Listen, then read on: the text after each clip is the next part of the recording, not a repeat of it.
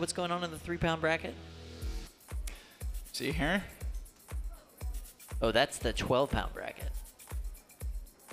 Oh, 30 pound bracket. It is. This is the 12. This is the three pound bracket. Yes. Okay, cool. So we just saw off track. Um, we just saw possibly going to fail, so perhaps we'll be seeing Compound and Black Adder next. Which could be super fun. And no, this is Sandstorm versus Wicked Wedge.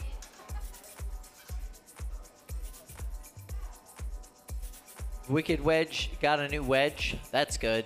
They needed that. Looking fresh. Looking fresh, looking nice. Sandstorm ready to go. Sandstorm's a good looking bot. All right.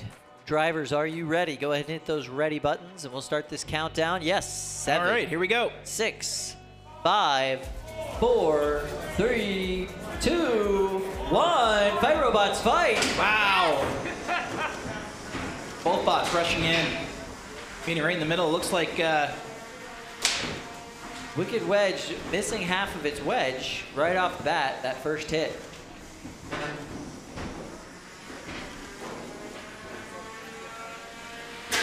Their very first match. This and their their first second, second match today. But this is their first competition. Second match of all time, it sounds like. Wow. No pressure. Yeah. No pressure. It's gonna be fine. Whoa, that was uh, that was some pretty punishing grinding right there. I love this dance that Sandstorm can do. That's fantastic. Look at that. It is. It is now a horizontal spinner. Yeah, you can just switch between horizontal and vertical spinner on the fly like that. Really cool design. Despite dancing around, they're still exchanging a couple uh, blows here and there. Oh. Wicked Wedge is so aggressively driven. It is very hard to believe that this is a rookie driver, that this is literally their second fight of all time.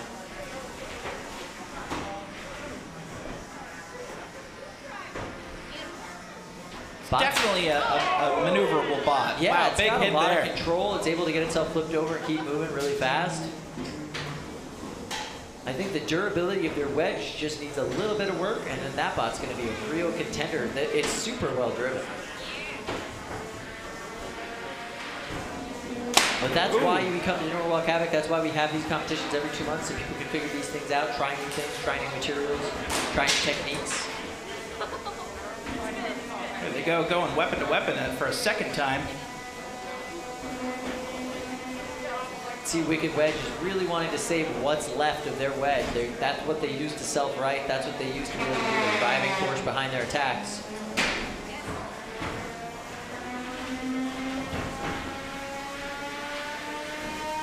Sounds like builder Jeremy from Sandstorm used to be an engineer at NASA. Maybe that's why this fight's out of this world. Hey!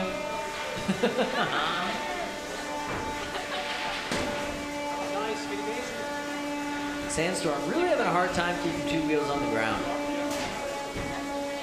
Gyroscopic force is keeping it floating.